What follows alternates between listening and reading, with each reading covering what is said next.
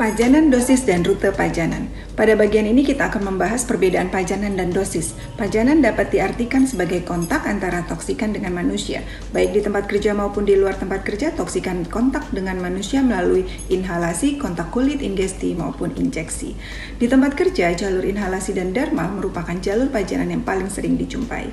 Dosis didefinisikan sebagai jumlah atau konsentrasi agen, bahan kimia atau toksikan yang terabsorpsi oleh manusia. Dosis adalah jumlah toksikan per kilogram berat badan organisme hidup dapat berupa hewan ataupun manusia. Dosis dibedakan menjadi dua macam, yaitu total dose dan fraction dose. Total dose adalah jumlah total agent yang terabsorpsi dalam satu periode tertentu, sedangkan fraction dose adalah sebagian dari dosis. Fraction dose dapat menurunkan kemungkinan terjadinya keracunan atau toksisitas. Satuan dosis dapat dinyatakan berdasarkan rute pajanannya, yaitu rute pajanan melalui oral dinyatakan sebagai miligram per kilogram berat badan, yang berarti miligram toksikan per kilogram organisme hidup atau miligram per kilogram. Rute pajanan melalui kulit dinyatakan sebagai satuan yang sama sama seperti oral, miligram per kilogram. Rute pajanan melalui inhalasi umumnya dinyatakan sebagai miligram per meter kubik, yang berarti miligram toksikan per meter kubik udara, miligram per meter kubik atau ppm. Pajanan dan dosis dapat dibedakan berdasarkan kriteria sebagai berikut. Dosis internal atau disebut juga sebagai dosis, jumlah toksikan yang mencapai target di organ, di mana efek yang merugikan dapat teramati, atau jumlah toksikan yang masuk setelah diabsorpsi.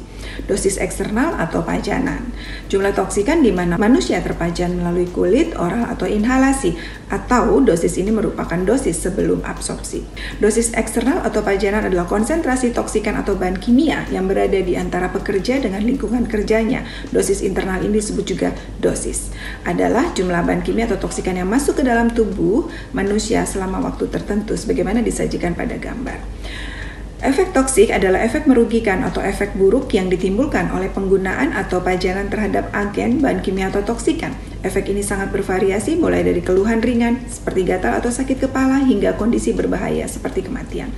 Prinsip yang menghubungkan dosis dengan efek toksik dikenal sebagai hubungan dosis efek.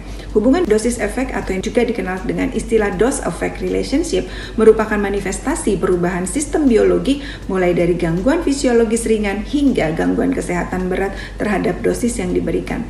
Sedangkan prinsip yang menghubungkan antara dosis dengan respons efek toksik yang terjadi dikenal dengan istilah hubungan dosis respons atau dose response relationship. Dosis respon relationship merupakan persentase populasi pekerja atau hewan coba yang memberikan respons perubahan sistem biologik yang terdeteksi, di mana figur ini digunakan dalam penentuan tingkat atau klasifikasi bahaya terhadap toksikan yang diuji. Beberapa faktor yang mempengaruhi tingkat pajanan disajikan pada tabel berikut. Tabel ini menjelaskan mengenai variabel-variabel yang mempengaruhi pajanan melalui berbagai jalur seperti inhalasi, dermal, dan ingesti. Sumber dan jalur pajanan toksikan. Pajanan toksikan pada manusia dapat berasal dari berbagai macam sumber, baik dari udara, tanah, air, permukaan, atau air tanah.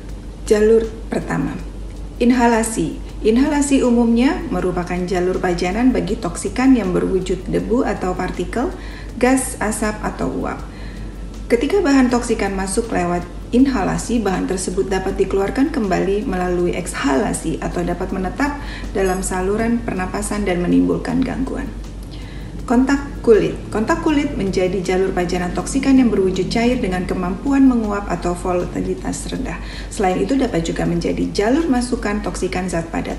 Berbagai bahan toksik dapat melewati skin barrier dan diserap oleh sistem sirkulasi dan disebarkan ke seluruh organ internal serta menimbulkan gangguan. Mata Mata sangat sensitif terhadap pajanan toksikan. Bahkan pajanan singkat toksikan dapat memberi efek lokal serius pada mata. Selain itu, toksikan dapat pula diserap oleh pembuluh darah mata dan disebarkan ke seluruh tubuh. Ingesti, toksikan dapat masuk ke dalam mulut dan tertelan. Toksikan akan melewati saluran cerna. Injeksi, pajanan toksikan dapat masuk ke tubuh melalui luka atau penetrasi kulit. Lewat pembuluh darah, toksikan dapat menyebar ke seluruh tubuh.